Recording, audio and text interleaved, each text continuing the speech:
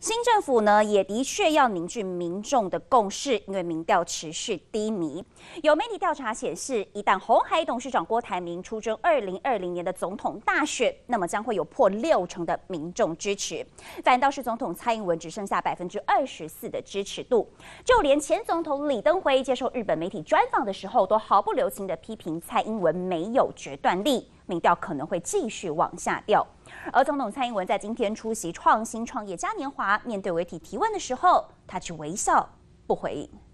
刚才进来的时候看到很多年轻人，我就问费正兄说：“哎，他们大概都几岁？”他说：“平均大概不到三十岁，我们好像相对的比较老一点了。”出席创新创业嘉年华，总统蔡英文一进场笑说自己老了，但要为台湾数位科技找出路，鼓励年轻人跳脱舒适圈，创新创业。要成功有一个前提，就是要跳脱当下，离开舒适圈的勇气。鼓励要有离开舒适圈的勇气，但前总统李登辉却批他没勇气。李登辉接受日本产经新闻专访中提到，蔡英文想做的事情太多，但司法改革不完整，年金改革不具体，连劳工休假问题都不明快做决定，实在没决断力、没勇气。外交方面搞不清楚新南向要做什么，两岸维持现状又是什么？蔡总统支持度恐怕继续往下掉。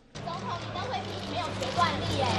总统还没有不想回应的还有美国大选后川普效应，红海董事长郭台铭也可能参选总统。有新民调就显示，两人一旦对决，蔡英文仅有百分之二十四支持度，郭台铭突破六成。接下来让我们再欢迎 AIT